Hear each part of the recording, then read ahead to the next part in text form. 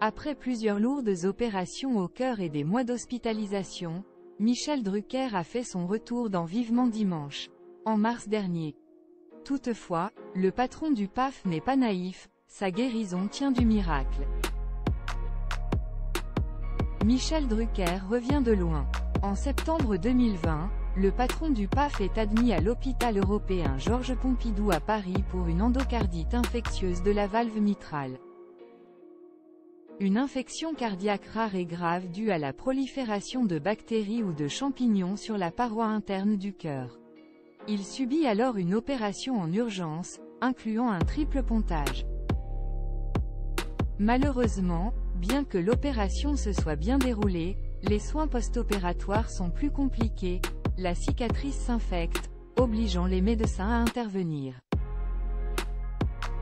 Finalement guéri, Michel Drucker sort de l'hôpital quelques mois plus tard. Cependant, en mars 2023, il est de nouveau hospitalisé et doit subir une autre opération à cœur ouvert, à l'âge de 82 ans. Dans une interview accordée à l'époque à TV Magazine, il avait révélé, J'ai appris, heureusement plus tard, que les médecins considéraient que j'avais à peu près 20% de chances de m'en sortir. Mes cardiologues me considèrent comme un extraterrestre, je ne devrais plus être là. Mais heureusement, fort de sa volonté de faire, Michel Drucker n'a pas baissé les bras. En août 2023, il était d'ailleurs de retour sur nos écrans, ovationné par le public de Vivement Dimanche.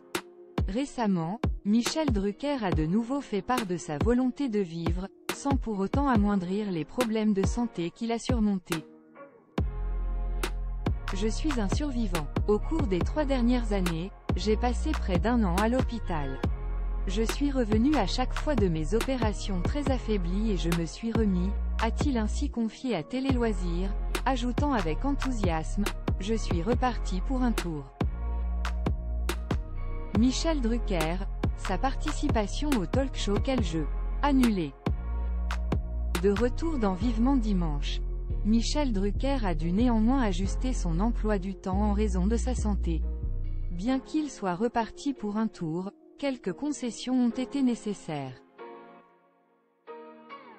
60 ans après ses débuts chez France Télévisions lors des Jeux Olympiques de Tokyo, Michel Drucker devait initialement co-animer avec Léa Salamé les premiers épisodes du talk show Quel jeu?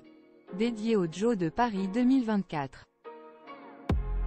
Une façon pour l'icône de la télévision française et le passionné de sport de boucler la boucle.